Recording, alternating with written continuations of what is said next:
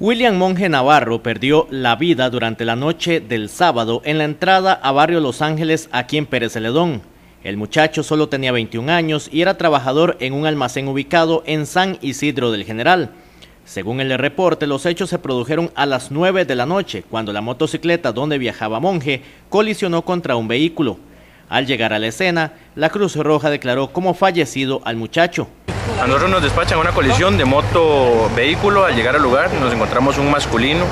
No se maneja edad ni nombre de momento fallecido en el lugar. Según versiones, el joven tenía poco tiempo de tener la moto. Las autoridades del tránsito recabaron detalles para determinar las causas del accidente. Un falso adelantamiento sería la hipótesis que toma más fuerza.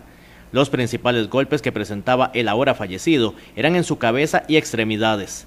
De momento eh, ok, traumas, eh, uno muy importante en lo que es en su cabeza y en extremidades.